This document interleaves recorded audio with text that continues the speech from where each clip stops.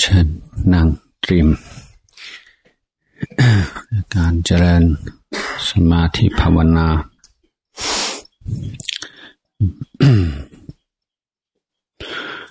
พระพุทธเจ้าเคยตรัสไว้ว่าใครอยากจะรู้ ว่าพระนิพพาน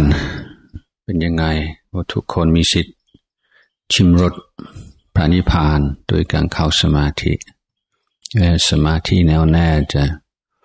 ให้ความรู้สึกที่ใกล้ที่สุดกับพระนิพพานในก่อนจะไปถึงขั้นนั้นยังต้องใช้ความอดทน ในความใจเย็นซะก่อน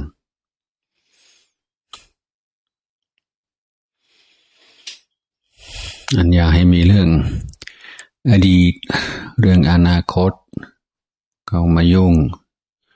ไม่สนใจ ไม่สนใจความจำไม่สนใจความคิด มันไม่คุ้มค่า มันไม่มีที่จบ ไม่มีที่ไปนะวกไปเวียนมาปรับอย่างเปล่าประโยชน์แต่ถ้าเราจัดสรรกับความคิดได้ ไม่ใช่ว่าจะไม่คิดอะไรเสเลย แต่ความคิดที่ไม่เป็นประโยชน์ว่าจะลดน้อยลงหรือไม่ไม่มีจะเปิด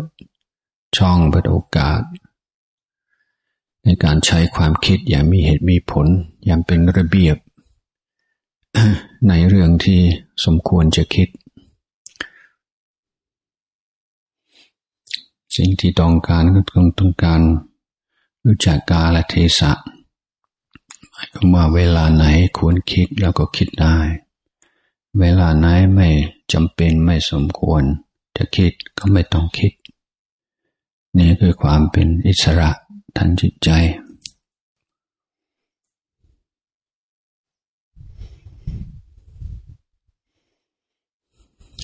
นั้นเรา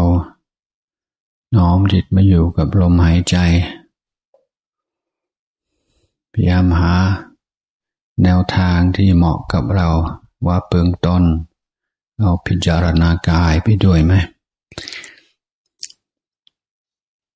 เมื่อเราน้อมจิตมาอยู่กับลมหายใจและใช้คำบริกรรม เช่นพุทโธกำกับ หรือเราจะนับลมหายใจ หายใจเข้าหนึ่งหายใจออกหนึ่ง หายใจเข้าสอง หายใจออกสอง นับหนึ่งถึงห้า ถ้าเผลอไม่แต่นิดเดียวต้องเริ่มต้นใหม่ หนึ่งหนึ่ง สองสอง เป็นต้นถ้าได้หนึ่งถึงห้าเรียบร้อยแล้วก็เริ่มใหม่นับหนึ่งถึงหกถ้าได้หนึ่งถึงห้าหนึ่งถึงหกโดยไม่เผลอ ต่อเป็นหนึ่งถึงเจ็ดโดยตั้งเป้าที่หาการนับลมหายใจหนึ่งรอบ หมายถึง นับหนึ่งถึงห้าหนึ่งถึงหกหนึ่งถึงเจ็ดหนึ่งถึงแปดหนึ่งถึงเก้าหนึ่งถึงสิบโดยไม่เผลอมันเป็นกีฬาถือว่าเป็นการท้าทาย ได้หนึ่งรอบ แล้วก็พยายามเอาสองรอบสามรอบถ้าได้สามรอบแล้วจะรู้สึกเหนื่อย พอก็น้อมจิตมาอยู่กับลมหายใจอย่างเดียว ตรงจุดที่ลมหายใจปรากฏอย่างชัดเจน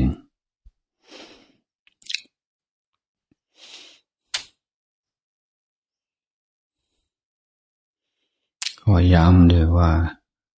สิ่งที่สำคัญที่สุดคือตัวรู้ อย่าให้มันเคลิบเคลิมอย่าให้มันเบลอเบลออันนั้นไม่ใช่สมาธิตรงกันข้าม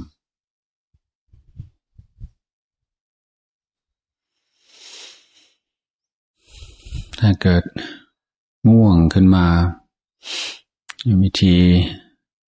แย่ง่ายๆ ก็คือนั่งตัวตรงตั้งอกตั้งใจมากขึ้น ยังไม่ได้ผล ก็นึกถึงแสงสว่าง เหมือนลมหายใจเข้าสู่กายสู่ใจเหมือนแสงสว่าง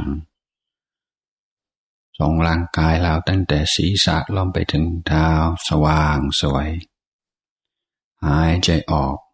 เหมือนแพ้แสงสว่างออกจากกาย เหมือนเราเป็น ตะเกียงและเป็นโคมไฟ แสงออกจากกายแล้วทุกทิศทุกทางพร้อมพร้อมกับลมหายใจ